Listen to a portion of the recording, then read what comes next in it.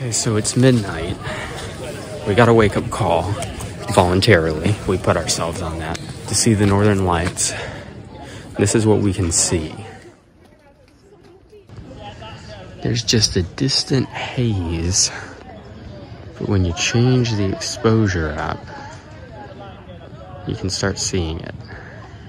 What I love is that this is just right behind people's regular houses from the hotel. With views like these, it makes getting out of bed in the early morning just a little bit more worth it. After a few more hours of rest, we had our breakfast and then boarded the bus to explore the south of Iceland. So, we are exploring our first set of waterfalls today.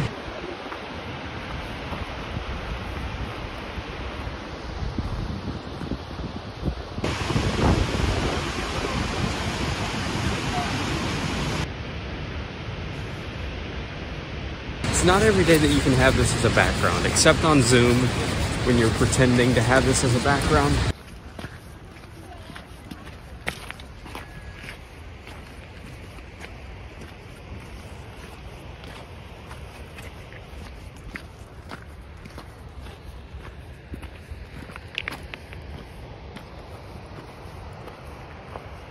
There's an artist depiction of Grýla.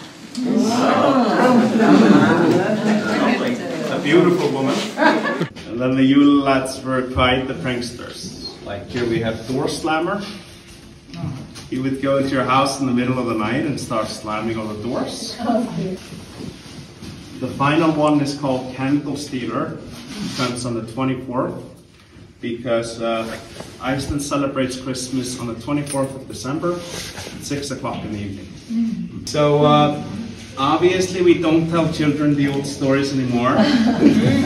in fact, the government felt the need of stepping in and the order basically reads to all citizens of Iceland, stop scaring children at Christmas.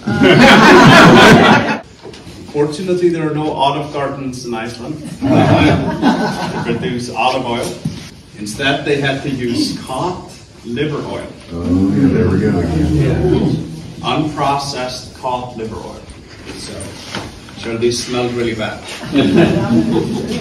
and apparently, the smell was so bad that some fishermen would actually get seasick before going out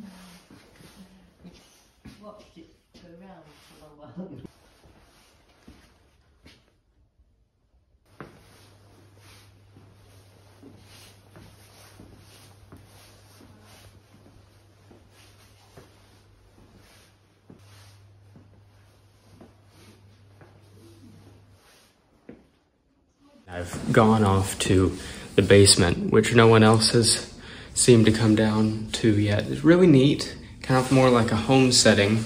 And then we have a lot of sculptures. And we have some bookshelves.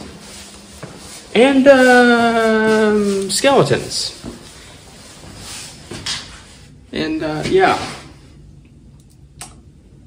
Maybe this is why nobody else has been down in the basement. I'm going into one of these huts. Oh, yes. Home sweet home. How, um, cozy. Oh, wow. Can you say the Six beds. And there we are.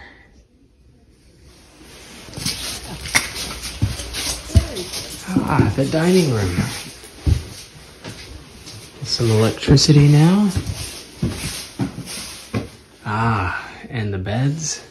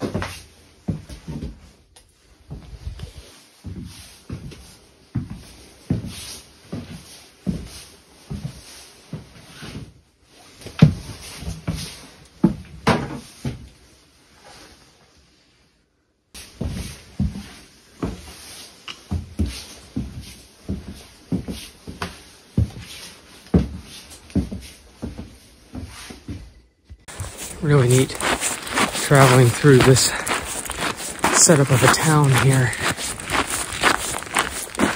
I'm going the wrong way. That's not good. So you're just walking, right? And then you look in front of you and you see views like this.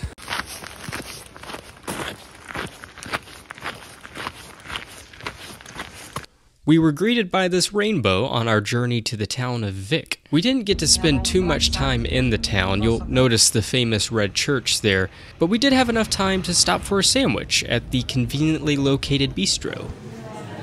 On one side, we have towering mountains, and then on the other, very intimidating amounts of water.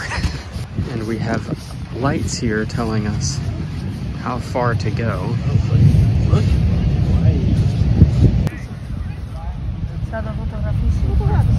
So check this out. This rock formation goes all the way up. And then you see the ocean.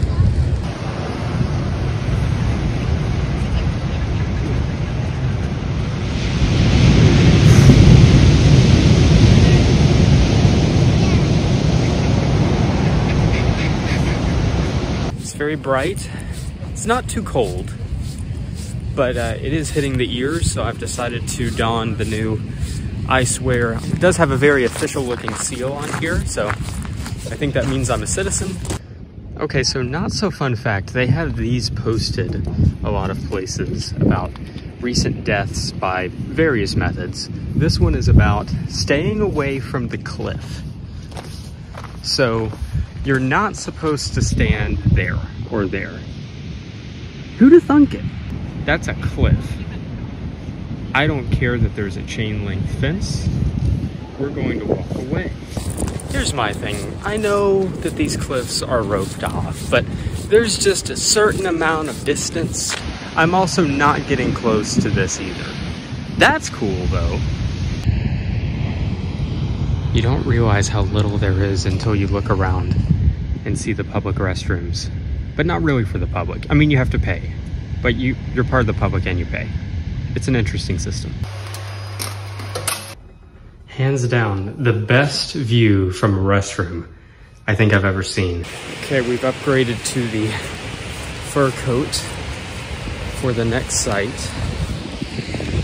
Waterfall 2.